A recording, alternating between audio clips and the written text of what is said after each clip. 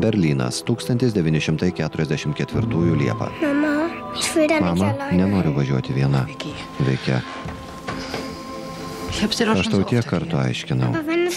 Bet jei Berlyne man per daug pavojinga, tau irgi grėsia pavojus. O jei pradės kristi bombos, tada atvažiuosiu ir aš. Pažadu.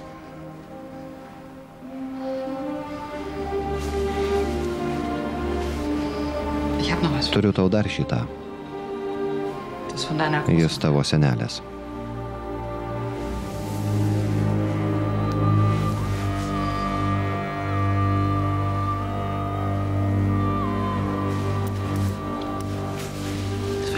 Apsaugos tave.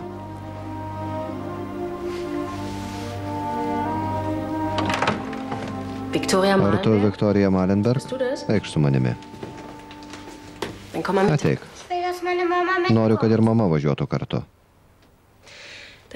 Tavo mama atlieka ist užduotį. Ji nepakeičiama, be jos nelaimėsime karo.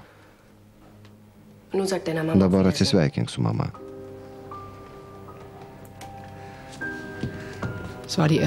Tai buvo mano pirmas išsiskirimas su dukra. Nacionalsocialistai tuo metu į karą jau buvo įtraukę 40 valstybių. Mes abi dabar labai stiprios, taip? Ir to padariniai mums buvo labai skaudus. Eime, vis labiau trūko maisto ir vandens. Berlyne buvo sunku įsivaizduoti normalų gyvenimą, ypač kai sąjungininkai pradėjo bombarduoti miestą net ir dienomis. Buvome priversti savo vaikus išsiųsti į saugesnės vietas kaime. Dieve, aš nė nenumaniau, kad netrukus telegrama pakvies mane prie mano sergančio tėvo patalo. Tikėdamasi susitaikyti, pirmą kartą po aštuonerių metų važiavau į tėviškę. Pabėgimas.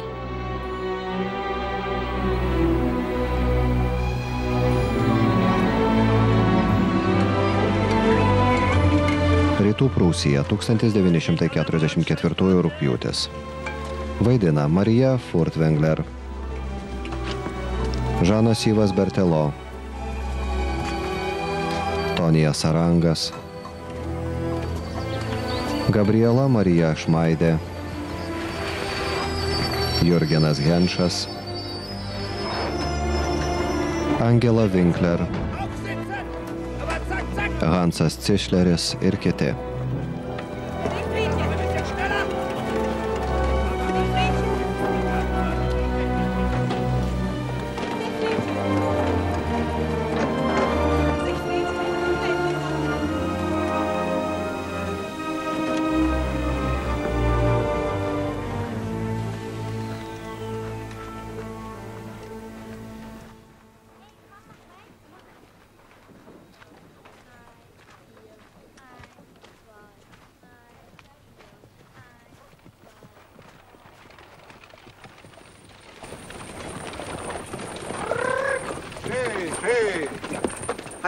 Heil Hitler, ponė Grafienė, sveikinu sugrįžus namo. Fricai, Du meine Güte, dievulėliau, ar dėl manęs taip? Entschuldigung. Atleiskite, kad pavėlavome. Sakiau jam, kad Reicho traukiniai ir per karą visada važiuoja punktualiai. Oras bjūra, o mums dar reikia suvežti šieną. Pone jūsų šviesybė, aš François Bove. Daugiau mantos neturite, ponė Grafienė? Ne, Fricai. Daugiau nieko neturiu. Lipkite. Labai ačiū. Deja, mes be automobilio. Nebėra benzino.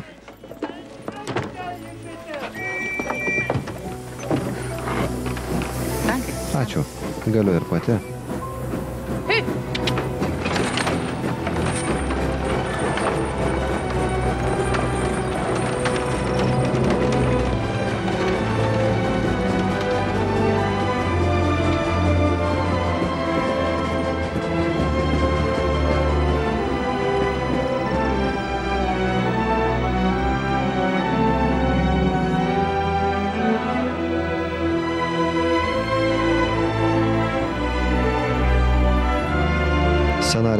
autorė Gabriela Šperl. Režisierius Kajus Veselis.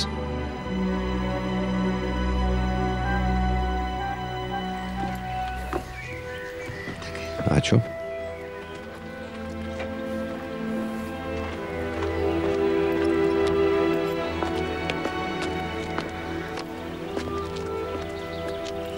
Pone Maister, sveika sugrįžusi. Kokia mums garbė? Anelizė. Helena. Sveika sugrįžusi. Sveiki, Mein Lenchen. mano Lenutė. Senelė Herta. Gerai atrodai,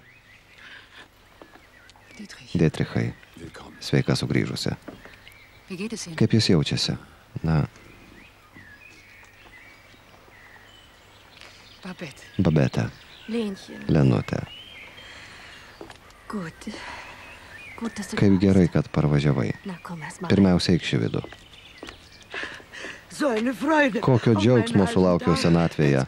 Dabar namai vėl atgis. Mich hat sie nicht mal Manęs ji net gehört. neatpažino. Vaikeli, kodėl neatsivežiai savo mažosios? Labai jos laukiau. Likus porai dienų prieš tavo telegramą turėjau išsiųsti ją į kaimą, ten saugiau. O pati gyveni Berlyne, kur nuolat krinta bombos. Dünn bist du Tu taip sulysai. Nieko, padėsiu tau papilnėti.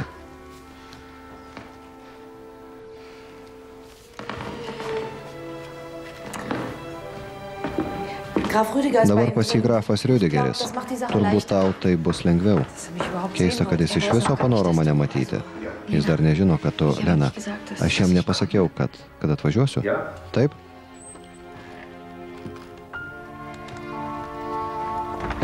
Tik kai išgersi savo vaistus. Nenurodinėk man, ką daryti, tu mane gydytojas. Gal imsi vaistus iš ko nors kito? Guten Tag, Vater. Labadiena, tėve. Lena, Lena? das ist ja großartig. Nuostabu. Sehr schön. Labai Lena, gerai. Lena. Sofija švenčia gimtadienį. Važiuosime į Gernstorfo pilį. Tikriausiai ir Heinrichas atvažiuos. Būtų puiku, jei ir tu važiuotum kartu. Gerai, mielai. Bertoldai, tik prašau nepamiršti išgerti vaistų. Ačiū, dėdė Riutigeri. Ką čia veiki? Hat er dich Ar jis tave pakvietė slapta nuo manęs? Babetė atsiuntė telegramą. Vadinasi, ji. Na. Auch wenn's mich Gal jie mane jau ir laidoja, bet aš dar nemiriau. Čia viskas po senoviai, kaip visada. O tu? Ką čia du Kaip gali vidury karo palikti tarnybą? Maniau, tu mokytoja. Mokyklos uždarytos, tėve.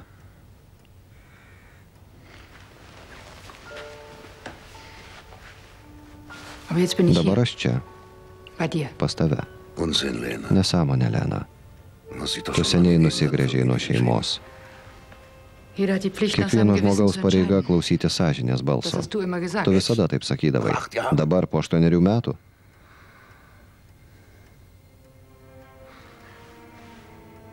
man tavęs nebereikia, Lena. Susitvarkysime patys.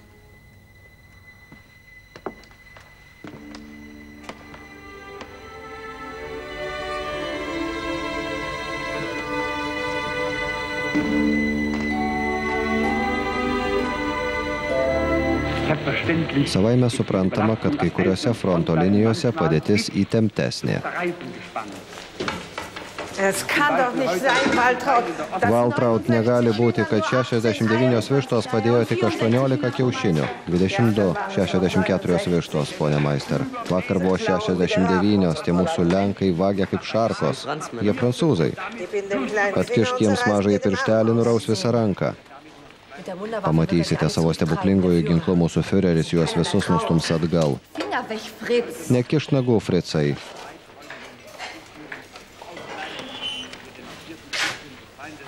Vyrai sunkiai dirba. Jie brauchen Jiems reikia daugiau valgyti. François, jau daug kartų jums sakiau, valgyti gaunate pakankamai, kaip tik tiek, kiek reikia. Mums reikia daugiau maisto.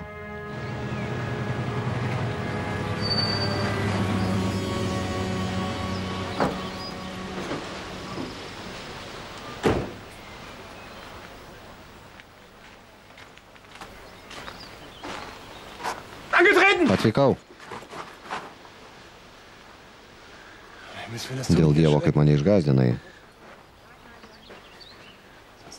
Paprastai toks punktualus mano didysis brolis verčia mane kelias valandas laukti. Nors aš punktualiai grįžau iš fronto. Apgailestauju, leitinante Gernstorfai. Turėjau reikalų Kionigsberge. Eikš.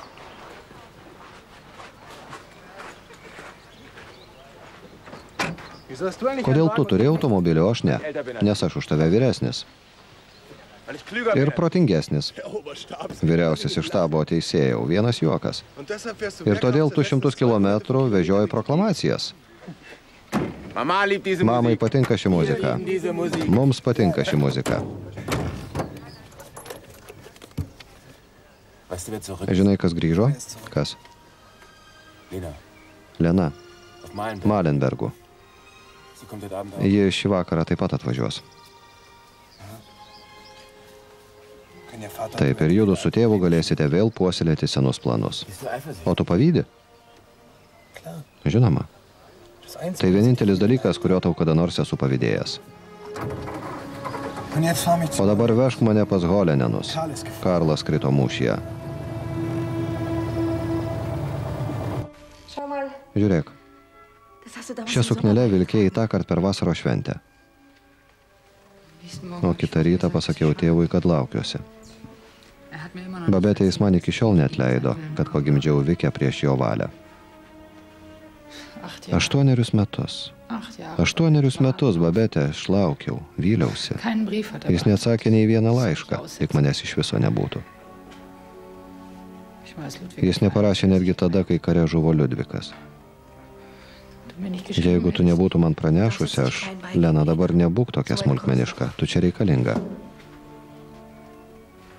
Prieš dvi savaitės į karą paėmė net ir vežiką. Ir mano Georgą. Georgą? Nežinojau, kurį išsiuntė. Į Prancūziją. O kas dabar valdo dvarą? Niekas. Čia baisi netvarka. Georgas visiškai pasitikėjo François, šis dabar daugiausiai ir dirba. Karo belaisvis. Taip, įsivaizduok savo. Jis inžinierius ar panašiai. Jis mūsų nekenčia. Tikriausiai jis komunistas. Lenute, tavęs čia labai reikia. Kaip mums gyventi toliau? Tik karo belaisviai ir samdiniai. Ir mes, moteris ir dar keli vaikai. Ir Fricas, kuris tik ir laukia, kada išeis į karą paskui tėvą. Tavo Fricą aš vos atpažinau. Jis jau tikras vyras, bet vis tiek dar žalias. Bet žinai, jis turi gerų galimybių partijoje. Jei pasistengs, gali padaryti didelę karjerą. Gal galės studijuoti. Partija mums daro tiek daug gerą. Taip, taip, žinau, tu negali jų pakesti. Tėvas nori, kad išvykčiau. Lena liaukis. Dabar tu pasimsi mažylę iš vaikų stovyklos kaime, girdi? Tavo vieta čia, juk žinai.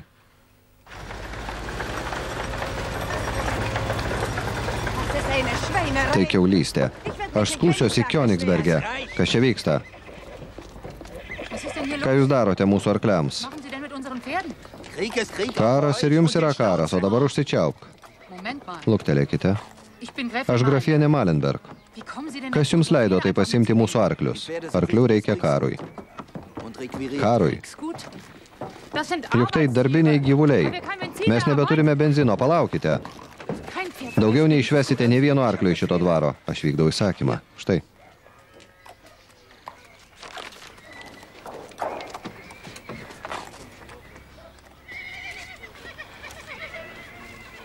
Ar tikite mūsų pergalę? Juk tikite Führeriu. Be abejo. Tada kaip galite norėti, kad sunyktų šitas ūkis? Ūkiai yra pagrindiniai mūsų gyventojų maitintojai. Führeris to nenorėtų. Tikra tiesa, mūsų Führeris tikrai to nenori. Gerai. Rytoj pasikalbėsiu su jūsų valdžia. O jūs pasirūpinkite, kad kiti arkliai sveiki ir gyvi būtų gražinti čia. Geros dienos.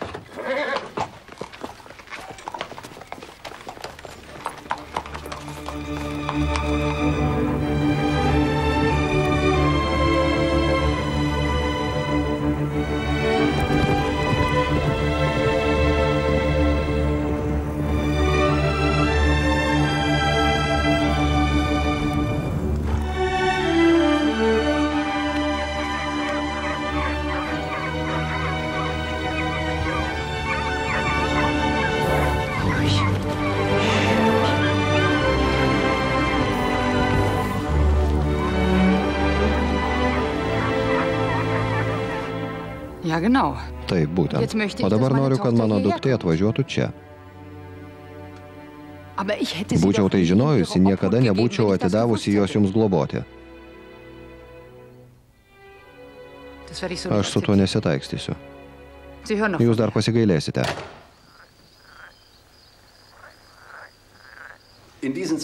Gernstorfo pilis. Šiais laikais svarbiausia šeimos vienybė. Aš laimingas, kad šiandien visi esame čia kartu. Už moteris. Jūs mūsų tvarkos ramstis. Už tave, mano mylima Sofija, ir už tave, Lena. Mes džiaugiamės, kad tu vėl namie. Dėkoju. Man būtų labiau patikę, jei tave būtų palikę Prancūzijoje. Vyriausiųjų štabo teisėjų. Tėve, aš pasisaugosiu. Nuolat tik ir girdžiu pasakojimus, kad nebėra nei tvarkos, nei drausmės. Kai sėdė taip giliai mėšle, nebesirūpini nei tvarka, nei drausme. Mūsų didžiajam Führeriui mes tik patrankų mėsa. Labas vakaras, mėlyjeji. Žinojau, kad jis atvažiuos. Atsiprašau, kad pavėlavau. Lena, mieloji. Tik tavo laiškai ir palaikė man gyvybę. Tu ne fronte? Kaip matai, tėve, aš stoviu prieš tave. Gavau dvi dienas atostogų. Fronto neatlaikysime, būsiu aš ten ar ne. Karas pralaimėtas. Kalbi kaip tie diletantai silpnapročiai karininkai Stauffenbergas, Treskovas ir jos panašus, kurie tik per plauką nesužlugdė viso fronto.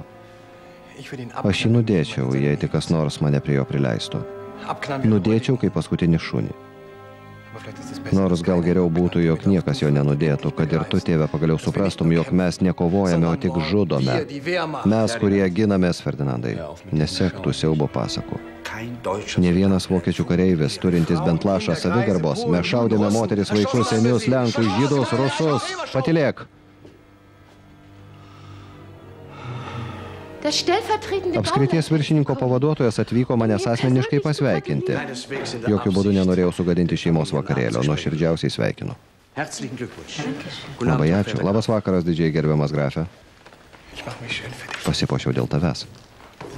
Atleiskite.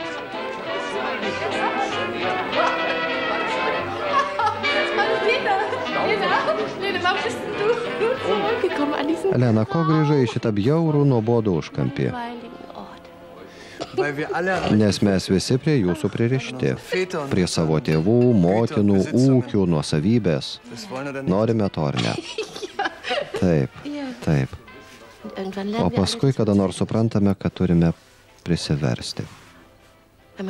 Kai norime vaikų ir ramaus gyvenimo. Tu taip pat nori turėti vaikų, Lena. Bet juk aš turiu dukterį. Viktorija. Taip, žinoma, tu turi dukterį. Bet tos baisios šeimos nori sunų. Lena. Jos nori tik sunų. Aš turėjau tris sūnus.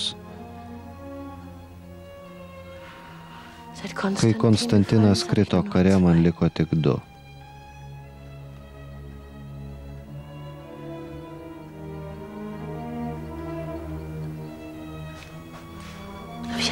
Bet turiu jį, savo brangiausiai.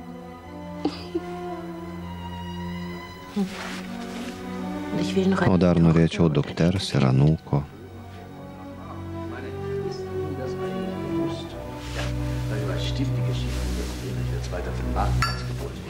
Nuvesiu tave į viršų, mama. Saldžių sapnų, Sofija. Labanakt, Sofija. Labanakt, mama. Įsivaizduok, Viktorą perkelė į Bukareštą. O Benjaminas per praeitas atostogas vedė, nes norėjo, kad bent vienas žmogus jo gedėtų, kai jis nugrims purve.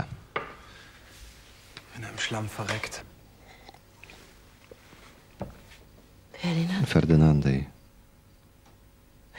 man skauda galva, kai tu taip kalbi. Papasakok apie save. Mama, Mama. Taip, kann nicht aš negaliu grįžti į tą karą. Nieko negaliu padaryti. Pasikalbėk su tėvu. Apgailestauju, kad ponas jūsų tėvas toks užsispyręs ir neklauso mūsų patarimų. O juk šiuo metu svarbiausia visiems būti vieningiems ir susiveršti diržus. Jis nemažiau negu jūs trokšta, kad rytprusiai išliktų vieningi ir stiprus, tik savai, ponė Hermanai. Vadinasi, turbūt visada įklaidingai supratau, mėla grafienė. Bet atrodo, kad jūs mastote toleregiškiau. Mano duktė šiuo metu su kitais vaikais išsiusta į kaimą Bavarijoje. Noriu ją pasimti, bet pasirodo netai paprasta. Manote, partija pasistengtų ir pasirūpintų, kad vaikas nebūtų per ilgai atskirtas nuo vokietės motinos? Aiškiai toleregiškiau.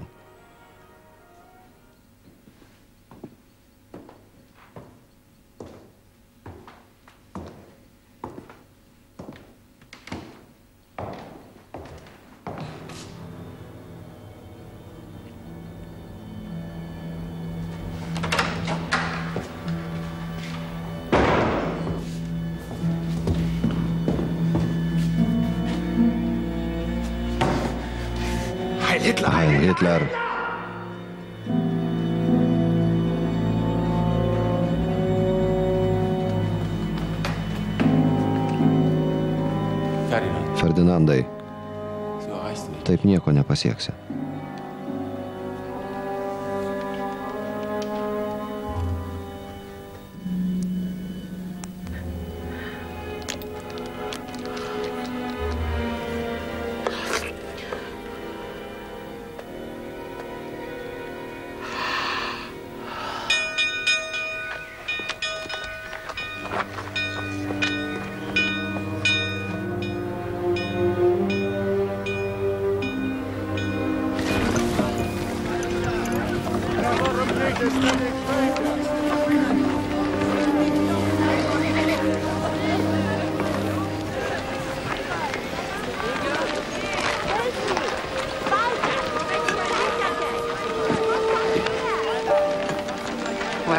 Iš kur keliauja šitie žmonės?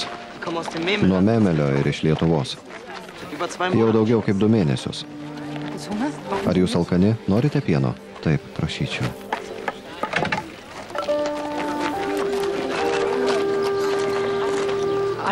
Visi bus gerai pavalgydinti ir galės pernakvoti daržinėje. Fricai, parūpink antklodžių ir čiužinių. Luiza, sėdėk kasta. Luiza, ateik greičiau. Čiužinius prašau nešti į patį galą. Pone Bovė, prašyčiau padėti. Helene, ar galiu tau pasakyti? Luisai, aš nesuprantu, ką tu sakai. Nesakysiu tau, ką tai reiškia. Pone Meister, neverta jaudintis. Per praėjusį karą rusai taip pat buvo atėję, bet paskui išėjo.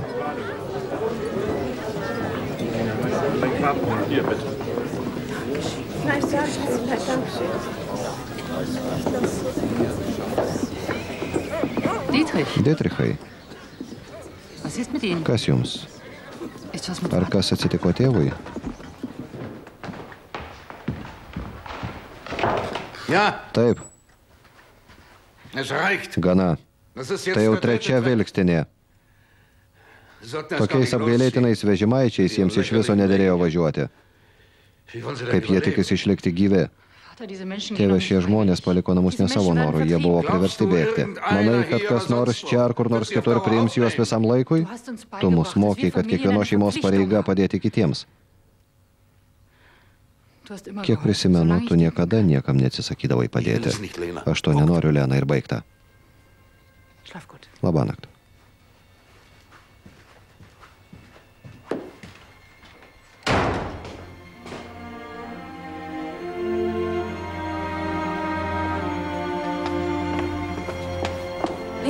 Labanakt. Lena, Lena, das kann doch nicht negaliu patikėti, kad grafas nori, jog tie alkani vaikai ir senukai, babete, jie visi gali čia pasilikti.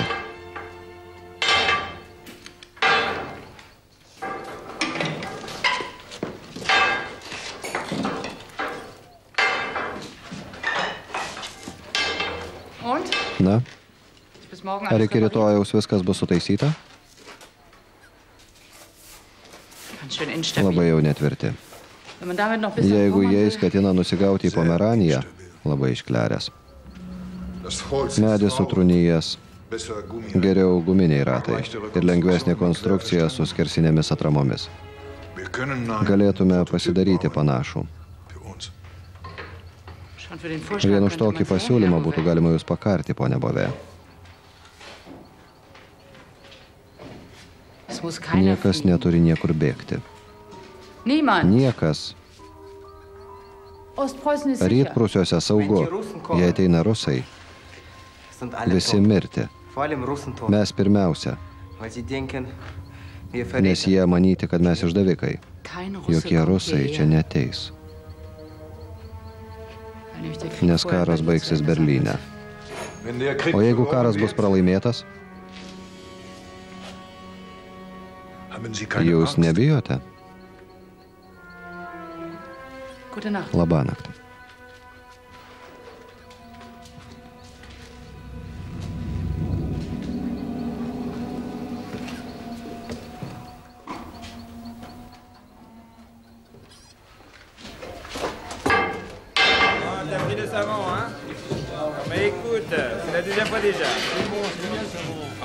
Wir müssen aufpassen. Turime pasisaugoti. Sie kontrolliert Ji alles. viską tikrina. Klausė apie darbą, apie valgį. Pasakė jai tiesą ir apie tas sumautas lovas. Gana jokių ginčių. Tik jau mit ne dir. su ja. Iš tų aristokratų nėra ko laukti supratingumo.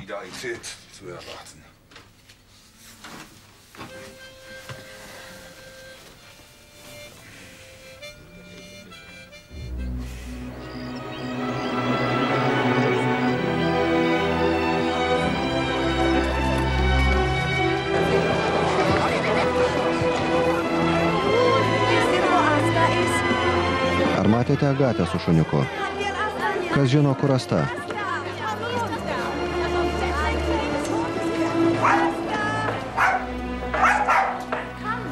Negeikš. Ateik.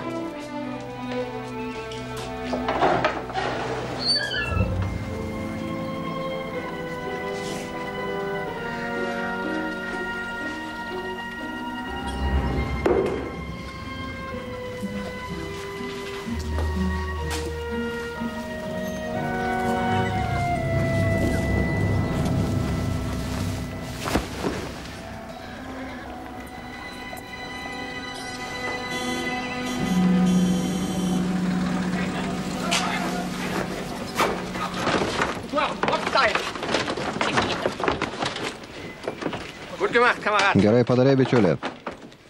Iš tavęs kas nors išeis. Negalite to daryti. Neišveškite Mikolajaus, paleiskite jį.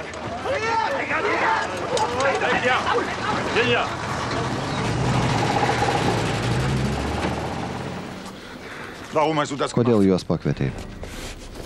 Kodėl tu juos pakvietei, klausiu? Paleiskite jį. Ką tai reiškia? Paklauskite jo, kas pakvietė esesininkus. Tu? Nikolajus nekaltas. Jie turi pasimti mane. Aš einu. Kas iš to, jei dabar tapsite kankiniu? Aš einu. Ar jūs apskrities viršininkas ar ne apskrities viršininkas? Tai darykite ką nors. Laukiu, kada tu jau patimsitės atitinkamų priemonių. Jūs neturite teisės, ateinate nekviesti, nieko neklausę. Drįstate nei iš šio, nei iš to suimti mano vyrus, kurių man skubiai reikia darbams laukuose. Reikalauju tučtojau juos paleisti. Pirmiausia, mus pakvietė. O antra, mums teko girdėti, kad jūs jau nekartą verlorene Tai negerai. O vietoj tų žmonių duosime jums naujų. Būkite rami, brangioji. Norėčiau atgauti savo žmonės. Šie vyrai dirba dieną ir naktį, kad mes laiku galėtume tiekti žemės ūkio gaminius. Iš Reicho negauname net benzino traktoriams. Grafienė neverta gaišti laiko dėl vagių ir sukčių, kurie jūs apgaudinėja ir naudojasi jūsų gerumu. Du lenkai, vienas rusas ir vienas prancūzas. Įdomus derinys. Jūs nepaisote Hagos konvencijos. Apie prancūzus reikia pranešti karo belaisvių tarnybai, raudonajam kryžiui, o rusai ir lenkai, jie nieko nereiškia.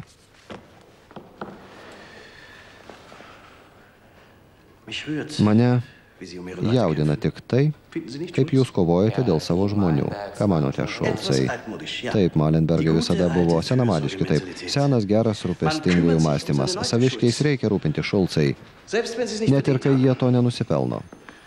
Perduokite linkėjimus savo tėvui. Kitą savaitę rengiu koncertą. Man būtų didžiulė garbė, jei ateitumėte su savo tėvu. Grafienė, rekomenduoju iš viso širdies. Šulcai.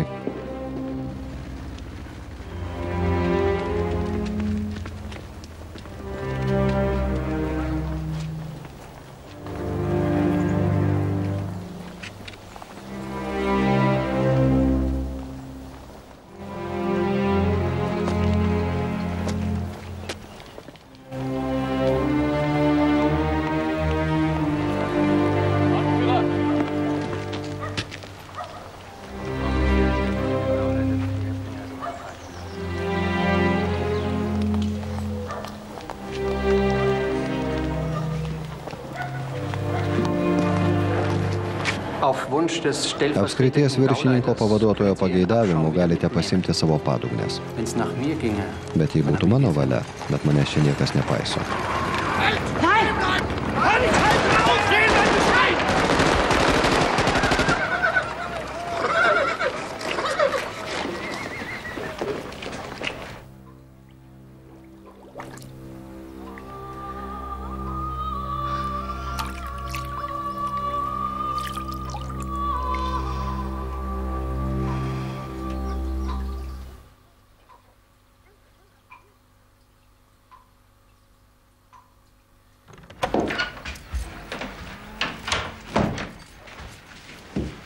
Kas šiandien nauja? Tavęs ieško grafienė. Ar tu išdavai tuos vyrus, Fricai? Jie iš mūsų vagia. Jie Verräter. ir išdavikai.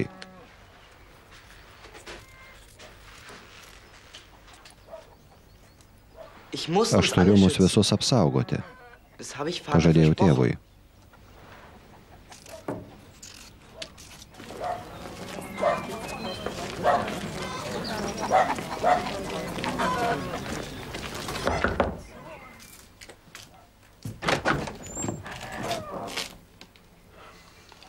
François, François, pour toi. pas tave atėjo.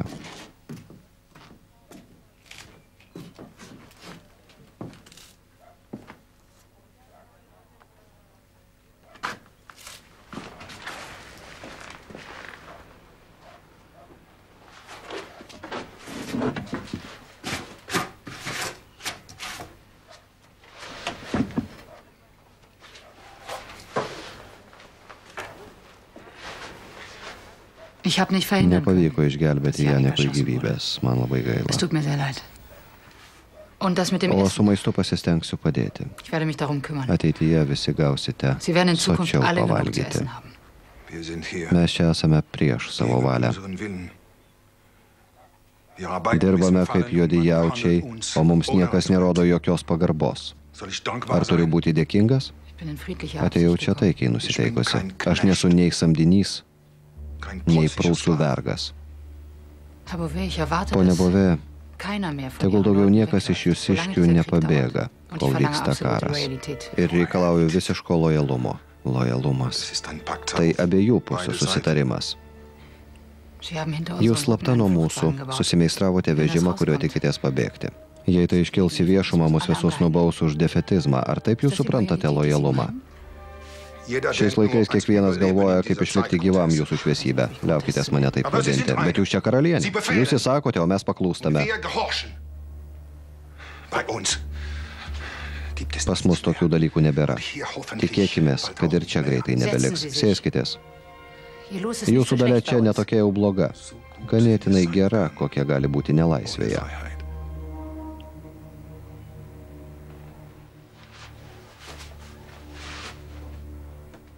Reikalauju, kad jau zerstören. pat sunaikintumėte vežimą.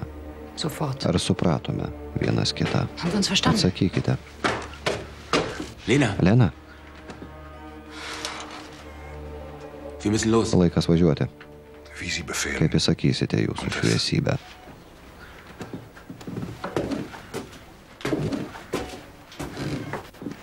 Heinrich, Heinrichai, žinau, kad vėluoju, atleisk aš.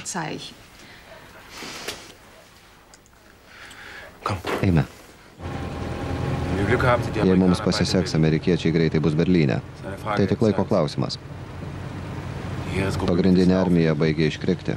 Vos 500 tūkstančių vyrų prieš 160 raudonosios armijos divizijų. Sie kommen mit über 2 Jų daugiau kaip 2 milijonai kareivių. Jie pralauž frontą. Manai, kad Hermanas padės man susigražinti Vikę? Hitleris šiuo metu visas jėgas telkia vakaruose užuot Heinrichai. Jau seniai pasikalbėjau apie tą reikalą su apskrities viršininko pavaduotoju, jis tai sutvarkys.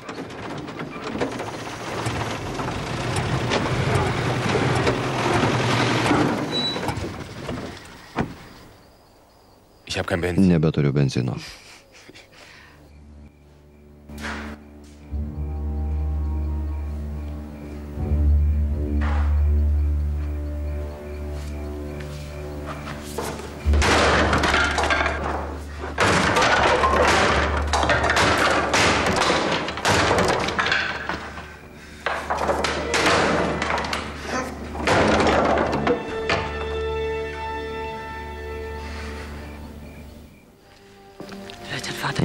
Tėvas ir teisus. Gal tikrai viską prarasime, viskas žlugs.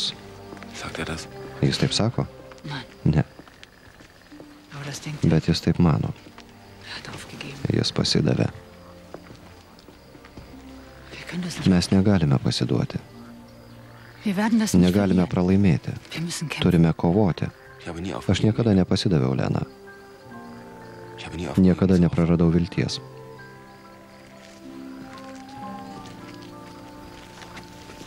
Tu tikrai būtum tada mane vedęs, nepaisydamas gėdos.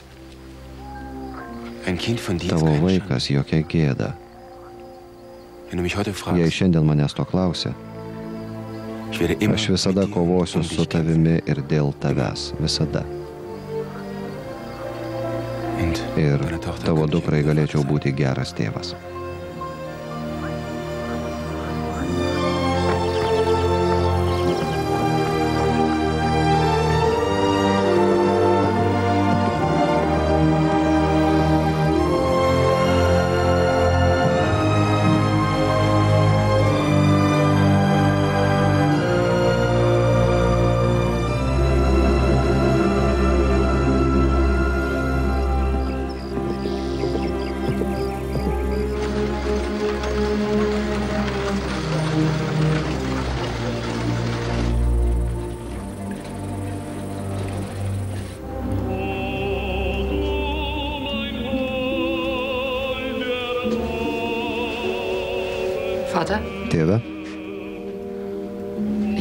Aš apsisprendžiau. Aš tekėsiu už Heinricho. Netekėk dėl manęs ir dėl Malenbergų. Ar tu jį myli? Juk tu visada sakydavai, kad vedybos iš meilės yra prabanga, kurios galima atsisakyti. Ateityje tai bus vienintelė prabanga, kuri mums liks. Taip jis man patinka. Patinka nuo tada, kai buvau dar maža. O dabar man jo reikia. Vedybos čia nebeišgelbės. Visų galvose seniai karas. Jis mus visus sunaikins. Tėve. Karai vyko visais laikais. Šį kartą viskas kitaip. Mes iš vien su jais ir kartu prisėmėme dalį kalties.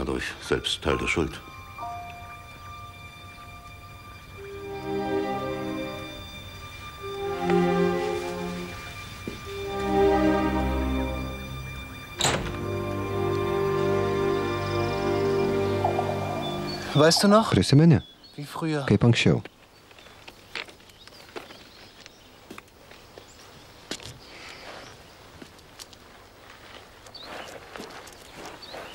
Ich will nicht weg von hier. Nenoriu iš čia išvažiuoti. Ich will auch heiraten. Ir aš norėčiau vesti kaip Heinrichas. Dann hat man wenigstens Tada turėčiau bent ką nors, apie ką galėčiau galvoti, kai ateis galas. Ferdinandai, nekalbėk nesąmonių. Tu už jo tekėsi, ar ne? Nulip nuo bėgių, eikš. Nieko nebijok, so Nors jis ir netoks nuostabus kaip aš, bet už manęs vis tiek nebūtum tekėjusi, nes aš visada buvau tik jo kvailas jaunėlis broliukas. Tu man labai brangus, o dabar lip nuo bėgių. Jis bent jau gerai tave saugos. Ferdinandai, eikš, pasitrauk nuo bėgių.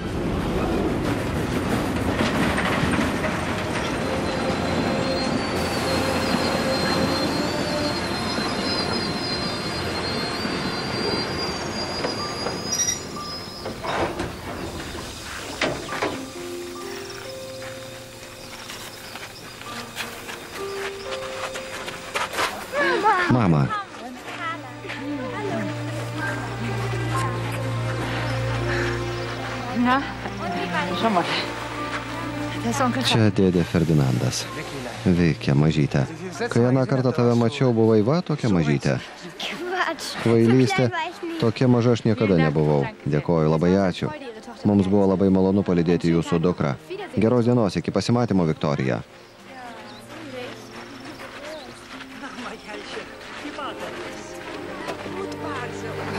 Būk atsargus. Dėl manęs. Prašau įlipti. Greičiau. Durys uždaromos.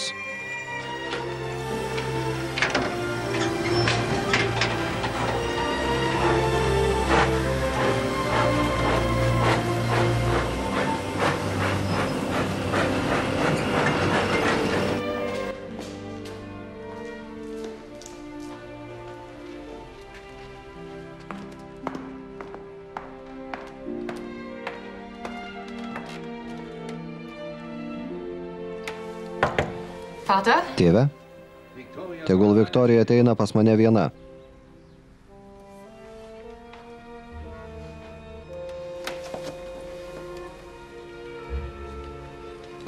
Aš tavęs palauksiu.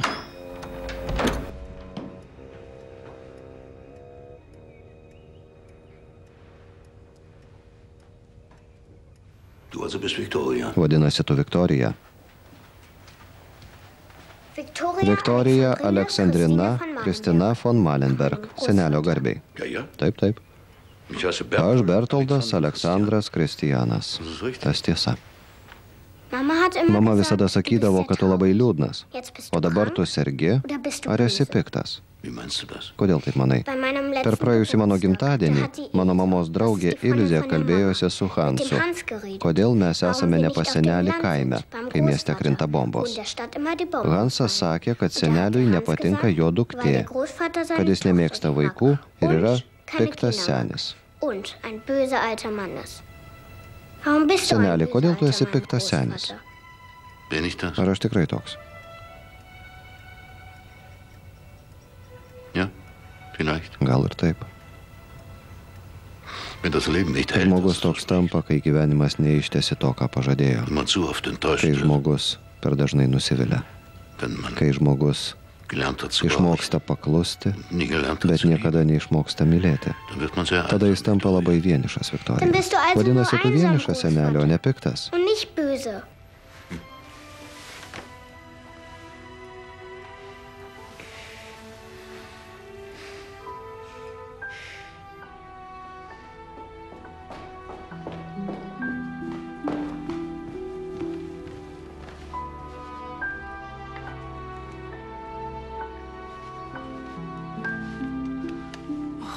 Lenutė, ko dabar verki? Turi tokį gražų sveiką vaiką. Ir tavo Heinrich Heinrichas taip stengiasi. Lenutė, šiandien šventė.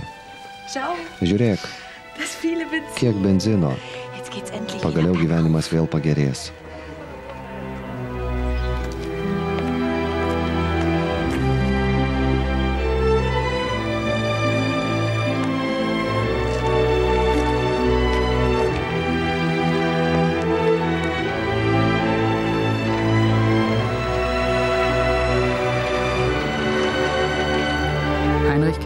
Heinrichas grįžo į frontą. Jis lankė mus kiek galėdamas dažniau.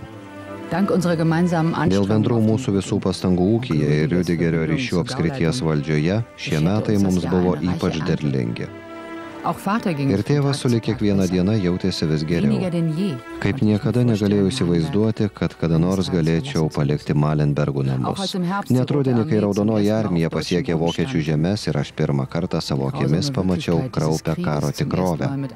Net tada vis dar tikėjau, kad nacijai niekada nenusiaups rytprūsių. Ostpreußischen Boden der Verwüstung preisgeben. 1944 spalis. Šildanti degtinė visiems.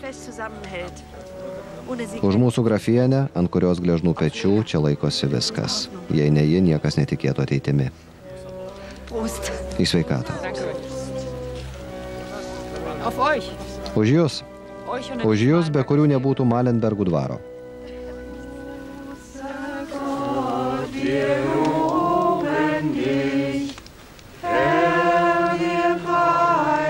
Didysis Dieve, mes tave garbiname. Viešpatie, mes šloviname tavo stiprybę. Tau lenkėsi visa žemė ir gėrisi tavo darbų didybę.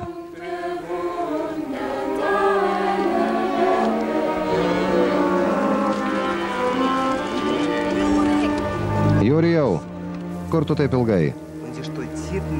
Nešini laimikiu jie nužingsniavo pas piktąjį burtininką, kuris vos pamatęs karžygį apsimetė negyvas. Veikia, ar pagaliau ateisi? Juk sakiau, kad eitų miegoti.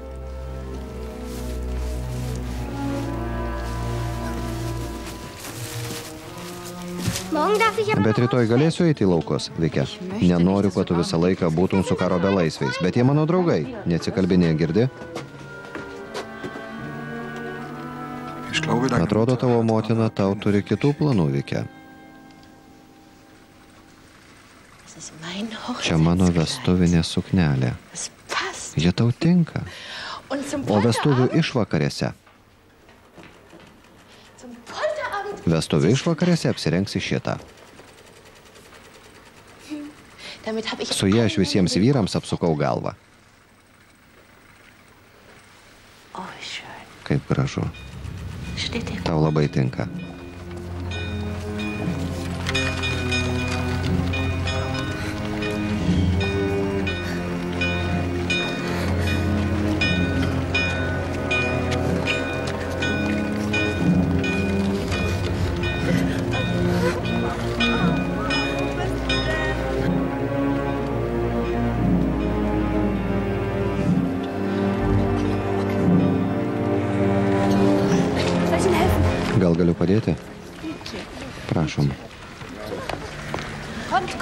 Ateikite, ateikite. Į daržinę už namo. Helga, paimkite ant klodžių. Nikolai! Mikolajau.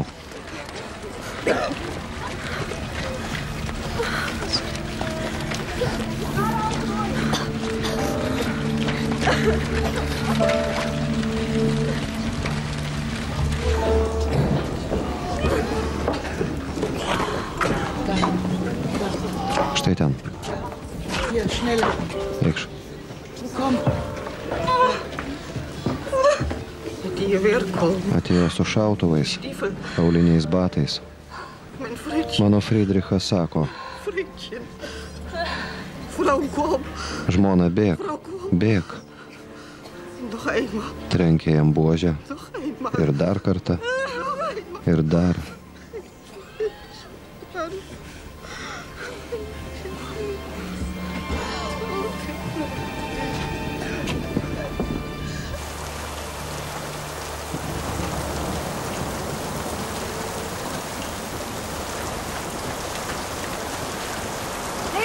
Lena, Ich kann unser Doktor schon negaliu prisiskambinti daktarui Šramui. Jis ligoninėje. Nėra kas mums padeda.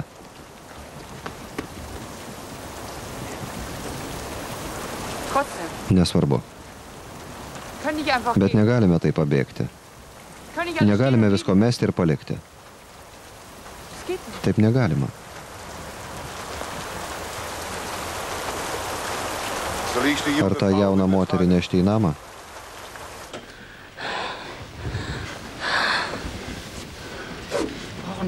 Reikia vandens ir rankšluošių. Mama, Mama? was ist mit Mama? Kas yra mamai?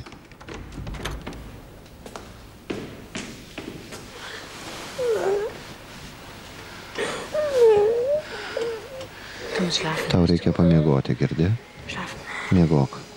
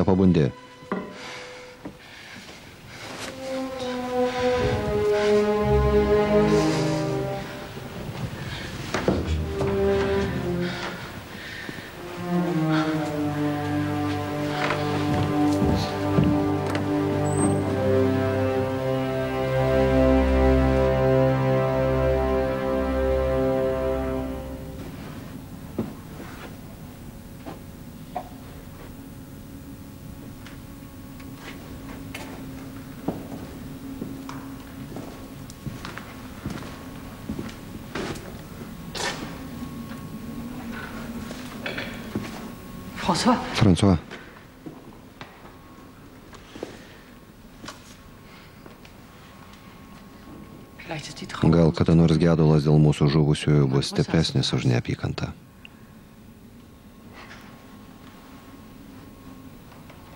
Nežinau, ar tai įmanoma.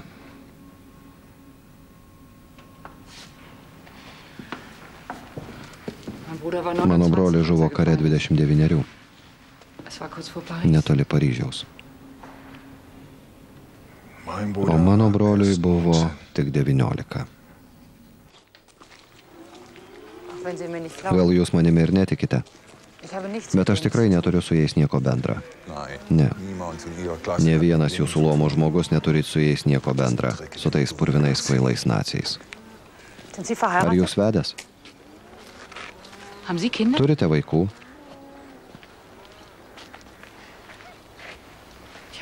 Aš turiu dukterį.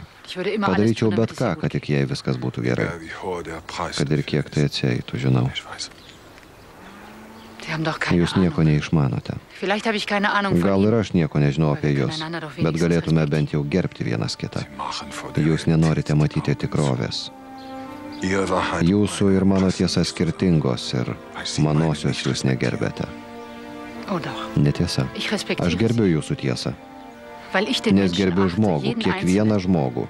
Weil ich in Nes gyvenu pasaulyje, kuriame egzistuoja atsakomybė ir gyvoja tradicijos. Und deshalb Todėl ir išteku. Nors tai visai ne jūsų reikalas. Taip, tai ne mano reikalas. O gal ir mano?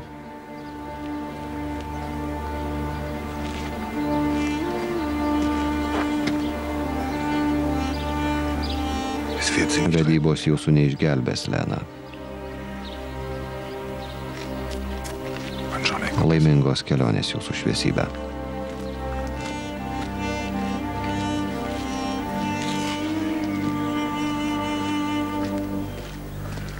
Mes beviltiškai pralaimėjome karą. Hitlerio paskutinė viltis, kad kuri nors iš sąjungininkių pereis į jo pusę, neturi jokio pagrindo. Sąjungininkai vieningi.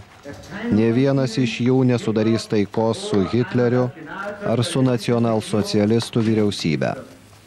Kiekviena tolesnė karo diena yra beprasmė ir nereiškia nieko kita, kaip tik vokiečių vyrų. Gal pakvaišote, jūs klausotės priešų radio. Juk tai melas. Bjaurus begėdiškas melas. Pjaustykite toliau. Valtraut.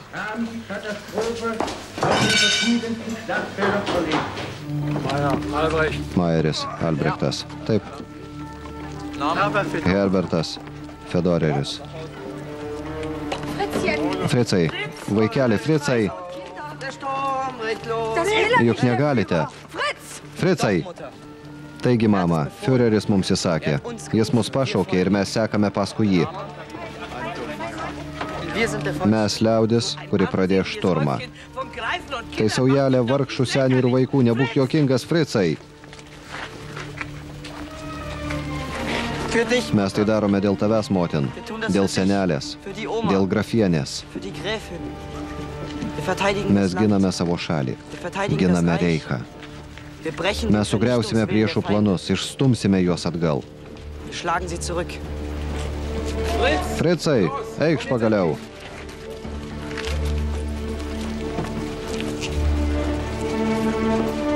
Jis to nori. To nori Führeris. Už pergalę.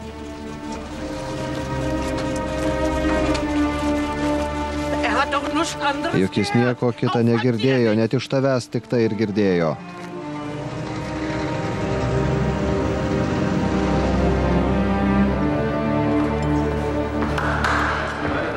Mielos ponios, kalbėdamos nepamirškite dirbti.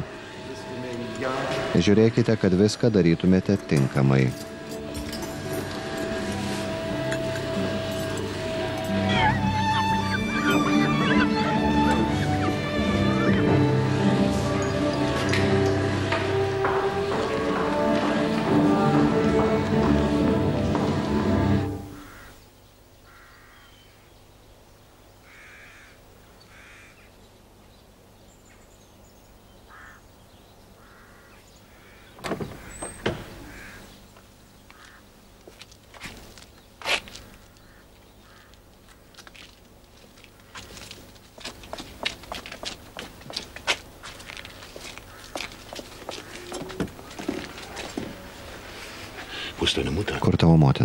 Aš duodu jums laisvę. Aš jumis pasitikiu, o ką darote jūs? Slapta vėl susimeistravote vežimą, kurio ketinate pabėgti. Juk taip keliate pavojų mums visiems. Jums rūpi tik išnešti į saugią vietą savo kailį. Kaip galite taip savanaudiškai elgtis? Nagi, pasakykite, ką nors. Aš jam padėjau. Noriu, kad išvyktumėte iš dvaro ir kuo greičiau. Tau ir vaikui. Reikia kuo greičiau pasitraukti į saugią vietą. Tai vienintelė išeitis. Tėve, tu niekada nežinojai, kas man yra gerai.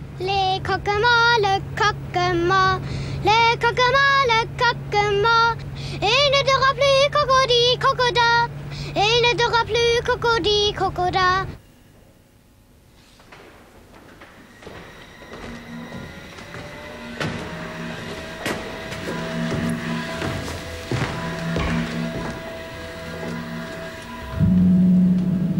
Ferdinand? Ferdinandai? Ja. Taip?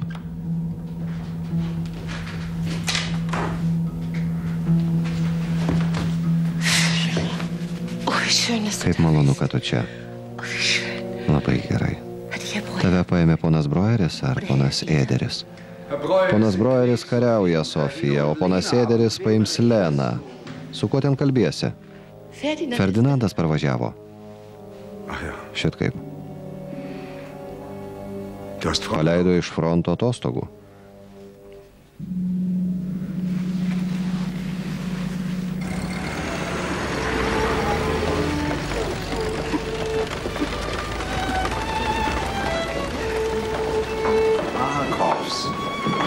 Dank. Labai ačiū už kvietimą. Na jau, juk tai savaime suprantama. Ar ateis ir jūsų duktė? Taip, puiku.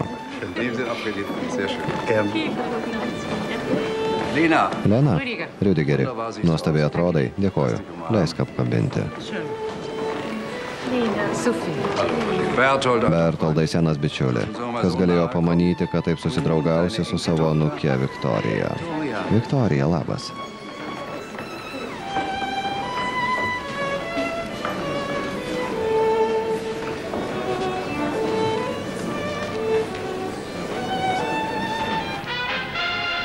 Ferdinand. Ferdinandai, tau visada labiau rūpėjo ne turinys, o forma. Brangus Ferdinandai, forma suteikia turiniui struktūrą ir padeda man išgyventi. 600 metų tradicijos, kultūra ir dora. Ištrinta, sunaikinta, baigta. Per 11 metų jis viską sugriovė. Aš bijau. Po galais aš tikrai bijau. Nenoriu atlikti jokio svarbaus vaidmens, didysis broli. Aš tik noriu gyventi. Ar jie tave paleido, Ferdinandai? Mano brolis veda moterį, kurią aš dievinu. Tokia proga noriu būti šalia.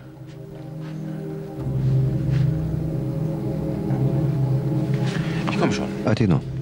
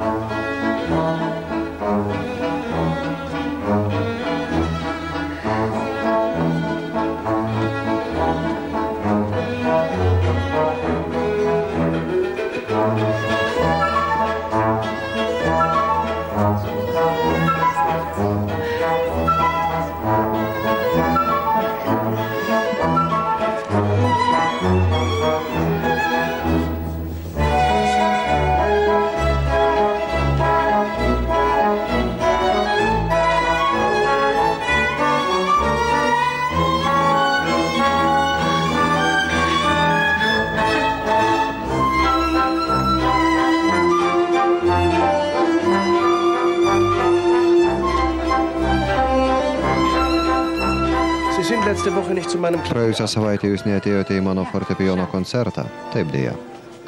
Tėvas pareikalavo, kad praleisčiau vakarą su juo. Kaip tie tėvai vis dėlto valdo savo gražuolės dukteris? Pone Hermanai, aš sprokstu iš pavydo. Ferdinandai, brolienė, žinojau, kad atvažiuosi. Žinojau. Štai ir atvažiavai. Ferdinand. Ferdinandai. Lena. Lena. Gal minutėlę leistų mūdviem pasikalbėti vieniems? Žinoma.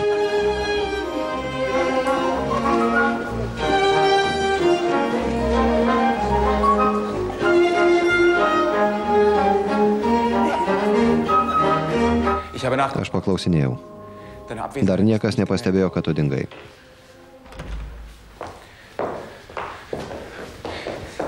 Man pasakė, kad tu sergi Ferdinandai. Ar suvoki, ką tu darai? Ar žinai, kas laukia dezertyrų, kurie iš baimės, iš bailumo, iš bailumo, bailumo. Ar tu kada nors girdėjai, kaip jie rėkia? Ar kada nors gulėjai šalia sužeistojo, kuris vaitoja, kol mirtinai nukraujuoja? Jūs čia viso to nematote. Mes nuostabiai graži, nuostabiai sugriuvusi šeima.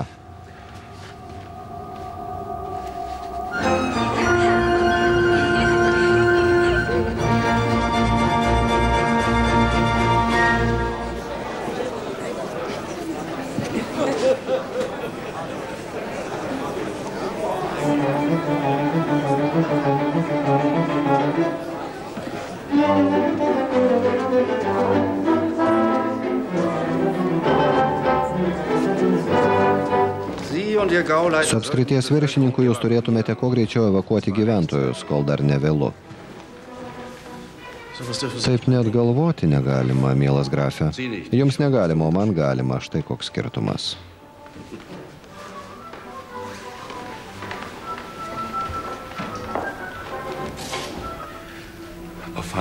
Už pabėgimą ir dezertyro slapstimą grėsia mirties bausmė.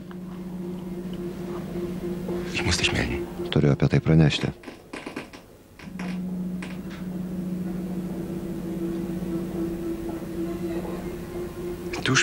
Žaidži su gyvybė ir mirtimi, nesusitepdamas rankų, darai tai kasdien. Aš darau tai, ką privalau. Neišsišoku, bet ir neišsisukinėjau. Tu visada mokėjai gražiai pasiteisinti, bet anksčiau nebuvai bailys.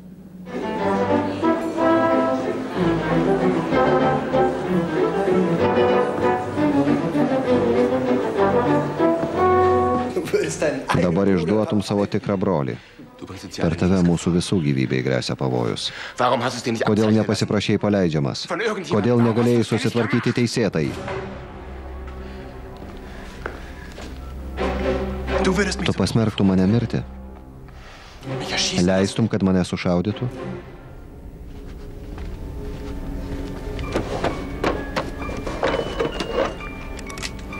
Ferdinandai, išvaduosiu tave nuo šio žingsnio mano vyresnysis broli. Negaliu tau užkrauti tokios kalties naštos. Noriu apsaugoti Leną, ji to nenusipelnė. Ferdinandai.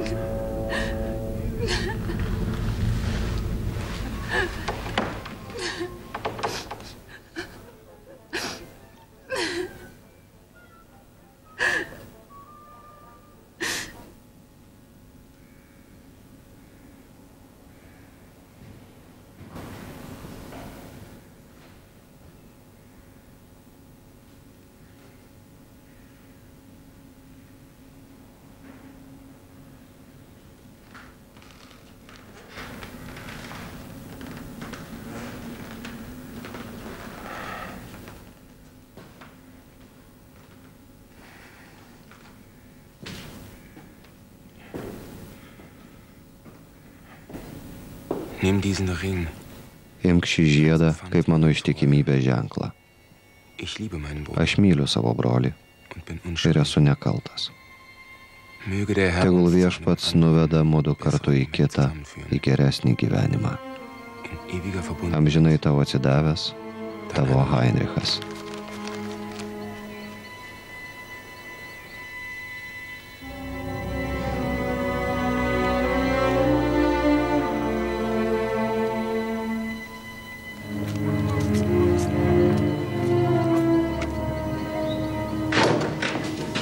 Kiek tilps į vežimą?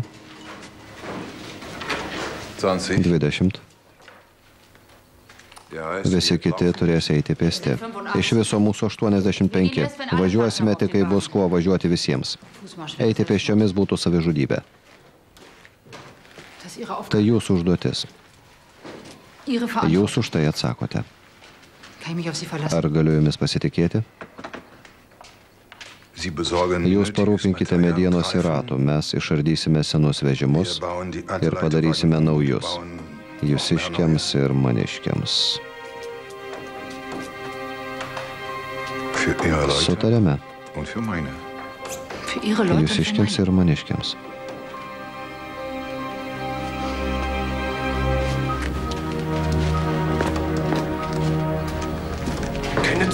Nėra nei laiko, nei medienos, nei ratų. Nieko neišeis. Nelaukime, François. Reikia važiuoti. Važiuosime visi arba niekas nevažiuos.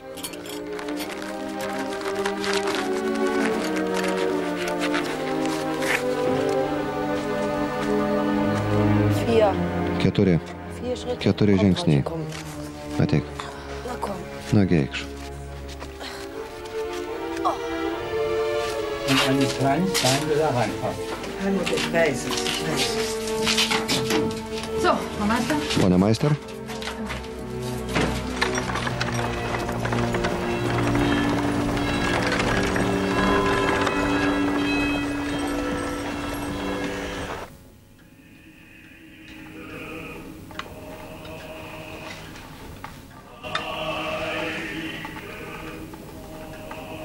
Heinrichas parašė iš fronto.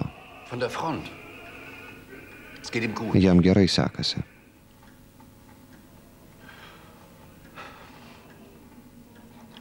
Sofija, tu važiuosi traukiniu.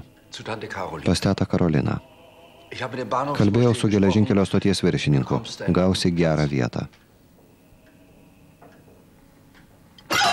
Tegu nutyla. Noriu, kad nutiltų.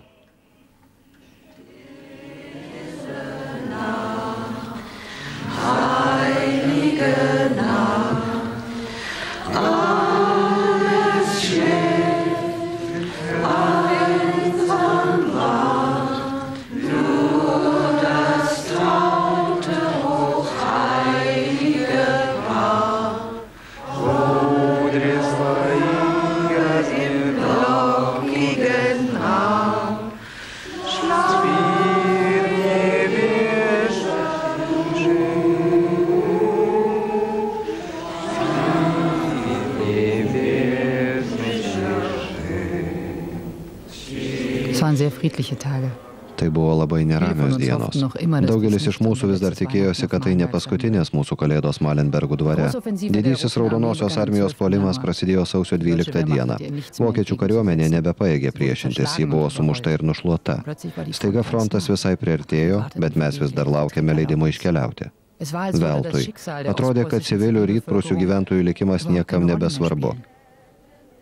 Buvo tikimasi, kad niekingos partijos proklamacijos, kelbenčios, kad rytprūsių gyventojai mūrų stojo ginti savo žemių nuo priešo, virs tikrovę. Neimsi kartu jokių karo belaisvių. Jo labiau, kad niekas neturi leidimo trauktis iš čia, aš draudžiu. Leidimus gausiu. Jie mums juos duos dar šiandien, negali būti nie kalbos. Su 20 karo belaisvių tu visus įstums į pavojų, taip pat ir mūsų moteris ir vaikus, tėve. Aš daviau jiems žodį ir jį tesėsiu. Nė nesvajok, ne.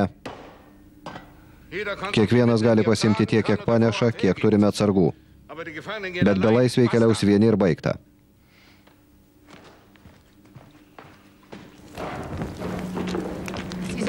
Jūs čia gimėte, pažįstate žmonės, jaučiate ryšį su jais. Pone Šulcai, tik nuo jūsų priklauso, ar moteris, vaikai ir senukai bus laiku evakuoti. Negaliu. Šiuo klausimu Führerio ir partijos įsakymai labai griežti. Führeris ir partija visai privaiks mūsų šalį, o jūs jiems dar padedate. Aš negaliu jums leisti pasitraukti, mielas grafė. Rytprusė yra tvirtovė.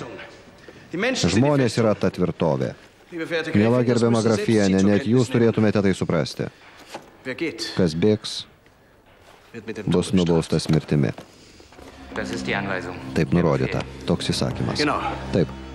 Rytprusiai laikysis iki paskutinio žmogaus atodusio. Įsakymas citrinukas leidžia išgabenti tik mašinas ir turtą. Taip jau yra. Grafas uždraudė. Valtraut. Kodėl? Pasakyk, kodėl? Kodėl mes? Kas dabar bus? Grafienė turėtų laikyti žodžio. Palaukime. Mes visi žuvę. Mes visi lavonai, ne jau nesuprantate. Grafas nusprendė. Bet grafienė mus išdavė. Važiuosime vieni. Susiruoškime, laikas važiuoti.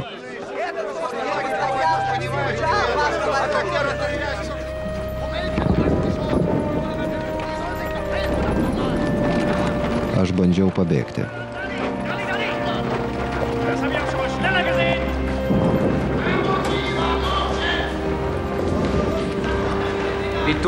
Kokie kvaili tie žmonės, ar ne?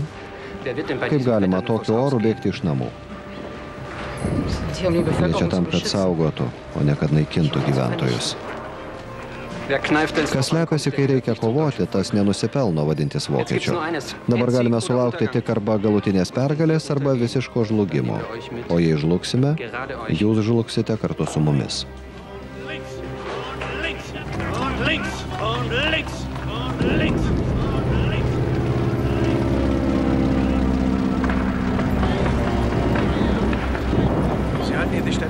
Likite čia, Šulcai. Klausau.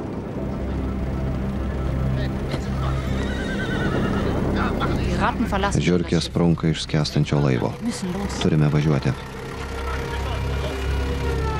Nebegalime ilgiau laukti. Ну давай, ёб твою мать, что ты копаешься там? Давай быстрее, блядь! А ёб твою мать, скорее сказал тебе! Что, что? Мужики, Яна, где? Ну что, блядь? Куда хочешь там? Ёб твою мать, надо идти уже! Tu negali bėgti. Turiu bėgti. Privalau. Jūsų grafienė išdavikė. Vyrai ir vaikai, eikite lauk. Visi, visi.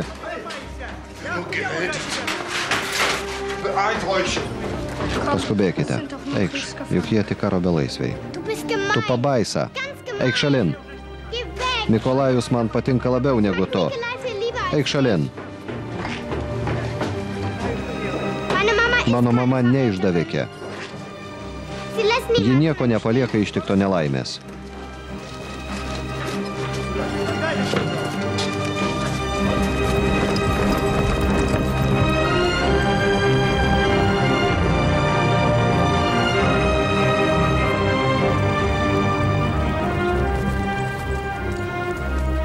Šviesa tokia ryški, dangus toks aukštas, toliai tokie platus, sako Hansas Lendorfas.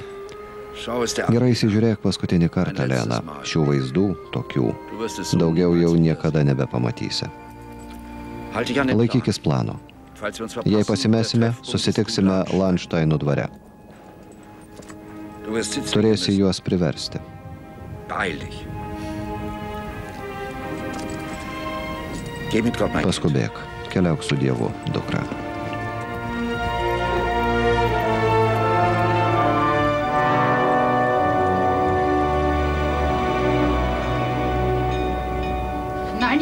Ne, jūs negalite čia likti dėl Dievo. Dėkitės daiktus. Tik būtiniausius. Svarbiausia šiltų drabužių, kepurių, šalikų, kojinių, mėgstinių.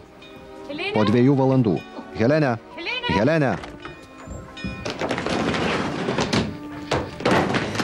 Nereikia daug mantos. Tik tiek, kiek galite panešti abiem rankomis. Geriausia kuprinė. Tai neprašymas. Tai įsakymas.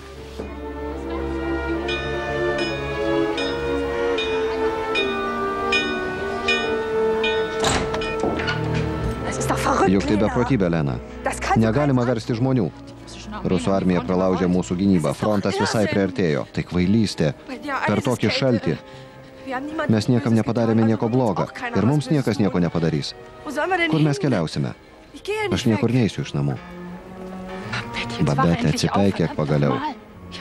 Aš jau girdėjau visai netoli sproksta granatos. Jie jau čia, supranti? Pasakyk ir François su jo žmonėmis. Po dviejų valandų išvykstame. Ėskite, ėskite, prisėskite. Bet Noch niekada nebuvo galima. Tėve, kodėl dar nesusiruošęs? Laikas važiuoti.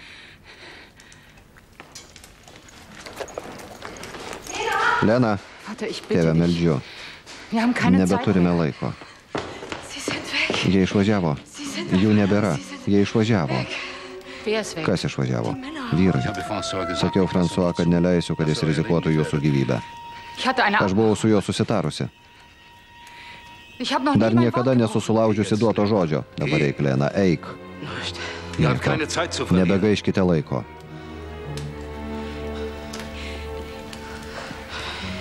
Ko čia stovite? Ar viską susidėjote? Visi susiruošę? Mes visur ieškojome. Jos nėra. Vikė dingo. Vicky ist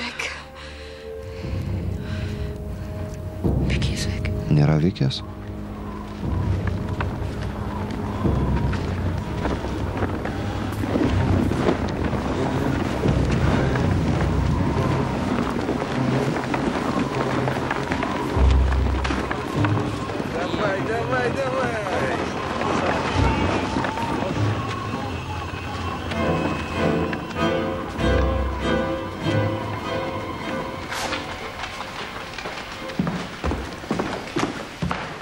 Vater, Tėve, aš viena josiu ieškoti Vikės. Turėsi vadovauti vilkstiniai. Vadovauti gali tik tu, Lena. Aš Malenbergo nepaliksiu. Tėve, tu negali pasilikti. Taip negalima. Yra dalykų, kurie yra neišvengiami kaip mirtis. Nuo jų neišsisuksi. Tu negali nieko pakeisti, net jei esi jaunas ir stiprus kaip tu. Dabar tu už viską atsakai. Tėve, aš turiu surasti savo dukterį. Tu ją surasi, jei likimas to panorės. Bet dabar svarbiausia tie 65 žmonės, moteris ir vaikai, kurie tavęs laukia. Jų gyvybė tavo rankose. Tėve, aš neįstengsiu. Įstengsi, Lena. Įstengsi. Tu labai stipri. Daug stipresnė už mane. Jau ne kartą tai įrodėjai, dukra. Aš visada tavimi nepaprastai didžiavausi. Net kai daug metų su tavimi nebendravau. Prašau tik vieną. Atleisk man. Jei tu mane atleisi,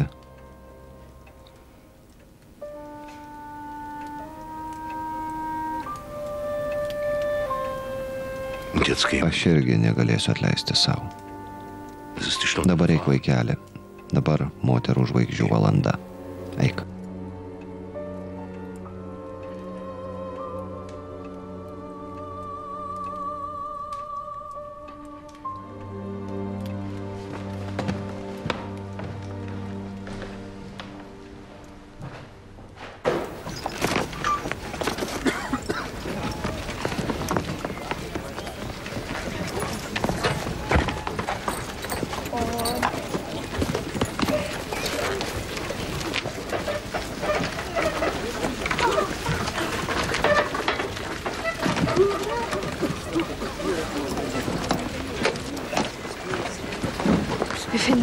Mes ją surasime, Lenute.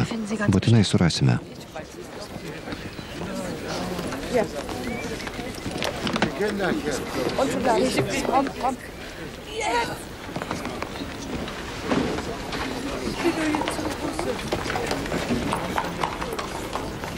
Važiuojame.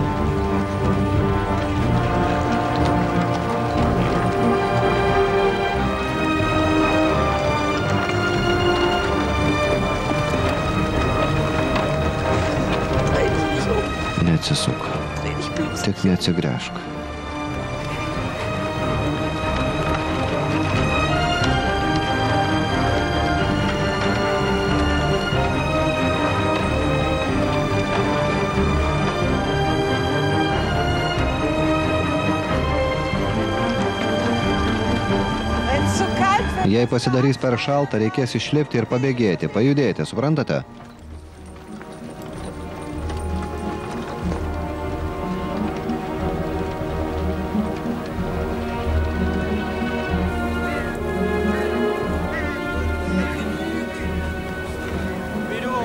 Pirmin.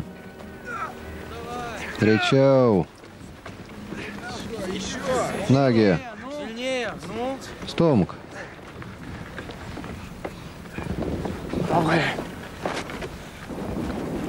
Вики! Veikia. Вики, was machst du? Veikia, kokį velnę čia veikia tokiame šaltyje? Kaip galėjai slapta pasimti vaiką? Aš nieko nežinojau, aš nežinojau. Aš būsiu tavo angelas sargas, kol atvažiuos mama.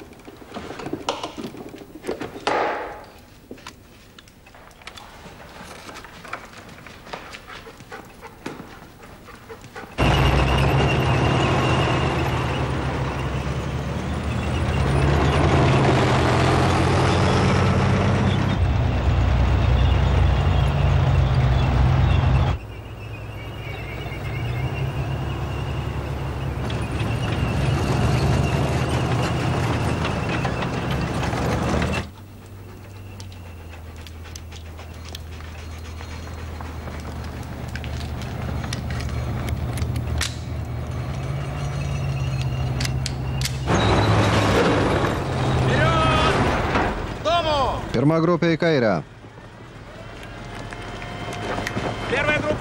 Antra grupė į dešinę.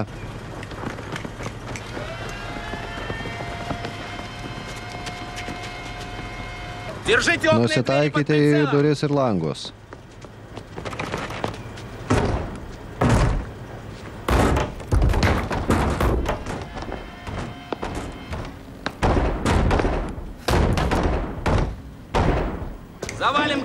Граната. И преданга.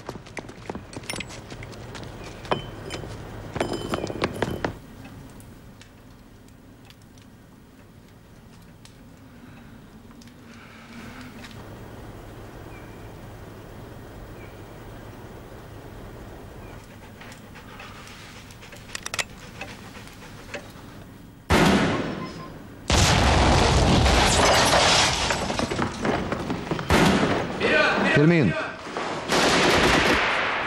Давай налево. Tu į kairę, tu į dešinę. Вперед, вперед. Pirmin, pirmin. Двое со мной.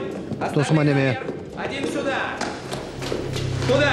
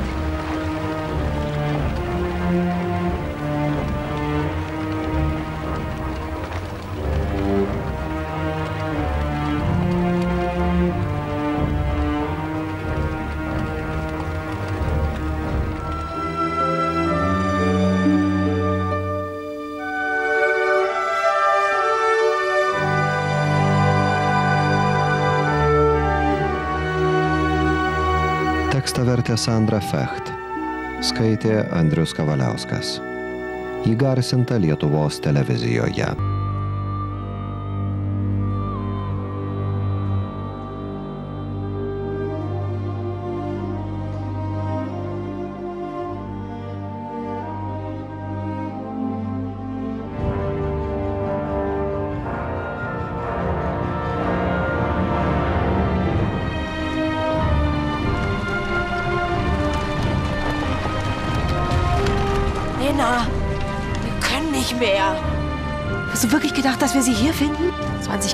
Und ein kleines Mädchen. François ist bestimmt irgendwelche Nebenwege gegangen. Wir brechen heute Nacht um zwei auf. Dann kommen wir besser durch. Das ist ein Umweg für uns, François. Nein, ist kein Umweg, Luis. Ist wichtig für Kind. Ich werde dich morgen zum Gutlandstein bringen, zu deiner Mama. Alle raus, los! Raus, raus! Nicht schießen!